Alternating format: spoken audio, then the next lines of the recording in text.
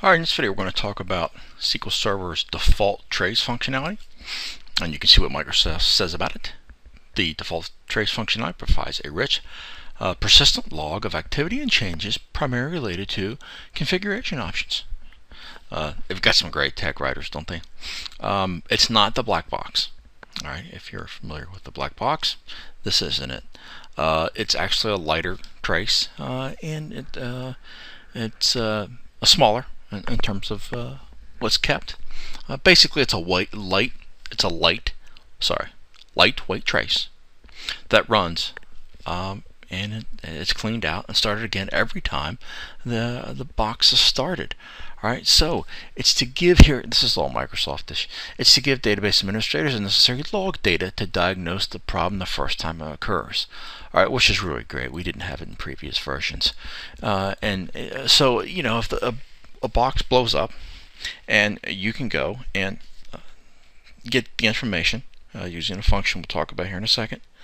Um, take the information and go and load a default trace to see what just happened. It's really, it's really just a fantastic idea. I don't know whose idea it was, uh, because for whatever reason, this functionality really isn't that, uh, you know, discussed a lot. Uh, but it, it's just fantastic. I mean, uh, it's yeah, it's great. Uh, so here we go. So uh, because the trace is enabled by default, uh, let's see, I was able to get the trace function. Yep, yes I was. So let's go whoop, whoop, to look at the function we're talking about, and it's pretty straightforward, huh?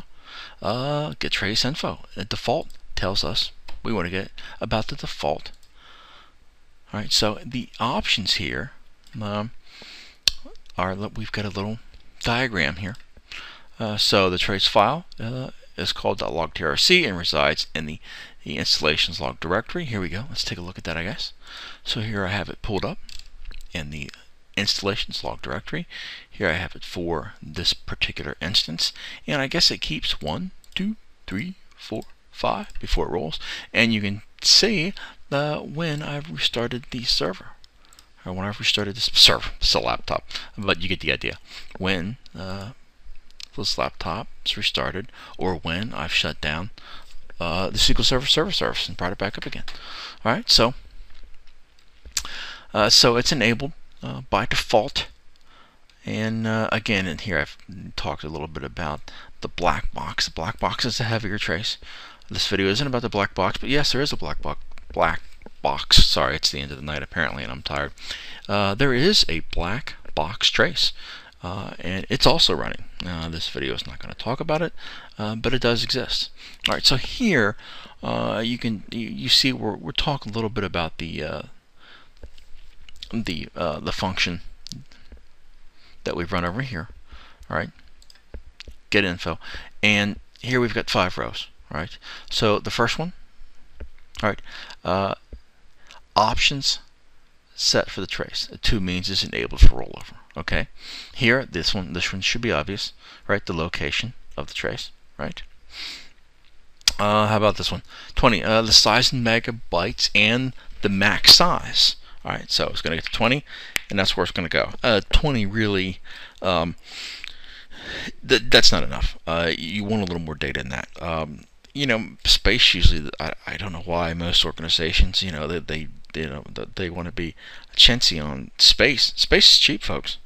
Buy some space, all right, and knock this thing up to 50. All right, that should give you plenty of information uh, to capture when a server blows up, or just when you need to look at something that's run. All right, so uh, the null, that's the stop time. Null means no stop time. All right, that's our fourth option. And our fifth is the trace running. One means she's running. All right, so you can see uh, the five property values and what those values are. Pretty sweet, huh? All right, so we have? The, okay, like I said, every time it started, a a, a, uh, a new trace is started and a new file, as we saw looking at the the directory here. So let's go back over to whoop, our trace. All right, now that we've seen where it is, right? We know where it is we can come over here and get some information about it. Uh, so log to let's load most recent. Okay, cool. And let's take a look at the table. What? There's no text data.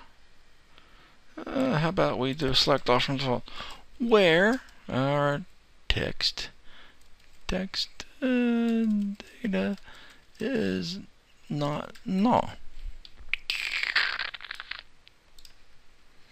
And here we go. Again, this is a laptop, all right? So not a whole lot going on, but you get the idea, right? Uh, lightweight trace, always on, great to have. And uh, if someone comes up to you and says, "Hey, I need to know what just happened," uh, you know, there you go. Load the default trace and tell them, or load the default trace and lie to them, because really they have no idea that there's a default trace. And for a long time, we've been telling people uh, it really didn't exist, and there is no easy way to capture information about a server when it goes down. Seems like a, a lie we perpetuate um, in case we mess up. And listen, I'm on board with it. All right. Later, folks.